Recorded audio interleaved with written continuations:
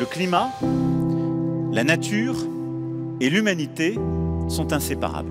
Et je pense que nous le mesurons beaucoup mieux, malheureusement, depuis que nous avons vécu cette, pandémie de Covid-19.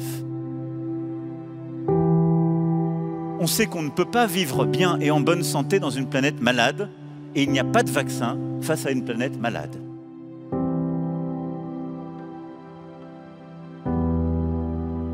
Nous devons nous battre pour un agenda qui met nos océans au cœur de nos objectifs en tant que bien public mondial, que bien commun.